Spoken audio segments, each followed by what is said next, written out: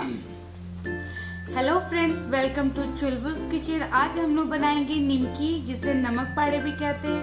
तो चलिए बनाना शुरू करते हैं। नमक पाड़ा बनाने के लिए हमने एक कप मैदा लिया है। वन फोर टी स्पून अजवाइन। वन फोर टी स्पून मंगड़ैल नमक स्वाद के अनुसार। गरम पानी आटा गूंथने के लिए। रिफाइंड ऑयल फ्राई करने के लिए अब चलते हैं नेक्स्ट प्रोसेस की तरफ़। मैदा गूंथने के लिए हम एक बड़ा बाउल लेंगे। उसमें एक कप मैदा डालेंगे। अजवाइन। मंगरेल नमक स्वाद के अनुसार। इसे ड्राई मिक्स कर देंगे, ताकि इसमें अच्छे से सारी चीज़ मिक्स हो जाए। इसमें दो से तीन चम्मच रिफाइंड डालेंगे, ताकि हमारा नमक पाड़ा क्रिस्पी हो क्रंची बने। इसे अच्छे से मिक्स कर लेंगे।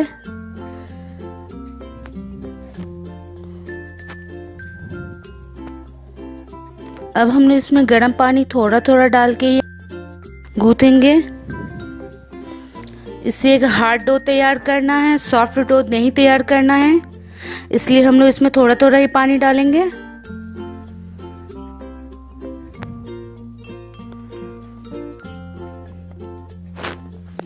नमक पाड़ा को क्रिस्पी और क्रंची बनाने के लिए हम लोग गर्म पानी का यूज़ करते हैं। इससे नमक पाड़ा क्रिस्पी बनता है। और एक बात का ध्यान रखना है कि हमें इसका सॉफ्ट डो नहीं तैयार करना है, एक हार्ड डो तैयार करना है। हमने हार्ड डो तैयार कर लिया है। अब इसे कवर करके पंद्रह मिनट के लिए छोड़ देते हैं। लोगों, पंद्रह मिनट हो चुका है, इसे एक बार और गूथ लेंगे। अब देख सकते हैं, यहाँ आटा काफ़ी हार्ड है। हमें ऐसा ही चाहिए, बिल्कुल परफेक्ट है।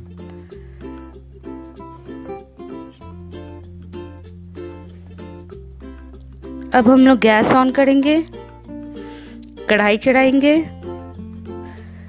इसमें रिफाइंड ऑयल डालेंगे, नमक पाड़ा को फ्राई करने के लिए। अब हम आटा को चार भाग, बराबर भाग में बांट लेंगे।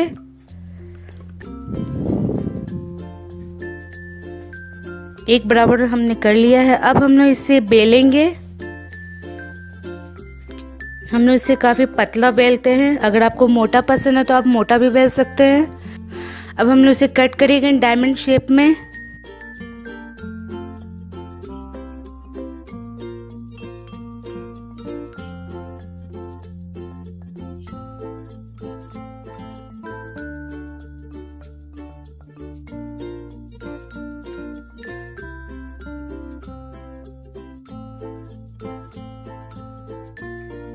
हमने इसे कट कर लिया है। अब हम इसे प्लेट में ट्रांसफ़र करते हैं।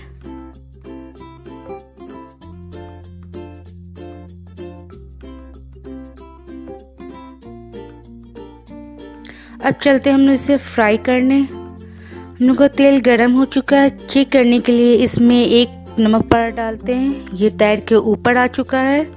इसका मतलब तेल अच्छे से गर्म हो चुका है। अब हम लोग इसमें नमक पारा डालेंगे।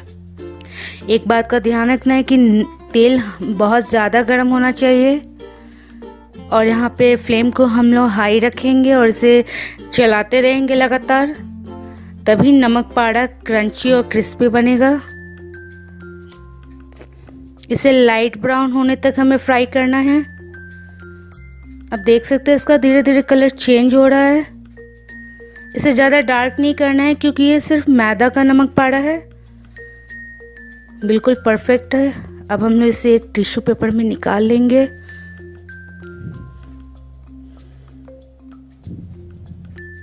इसी तरह हम लोग सारे नमक पाड़ा को फ्राई कर लेंगे, आप देख सकते हैं। अगर आपको मेरी रेसिपी पसंद आए तो मेरे वीडियो को लाइक करें, मेरे चैनल को सब्सक्राइब करें। Thank you bye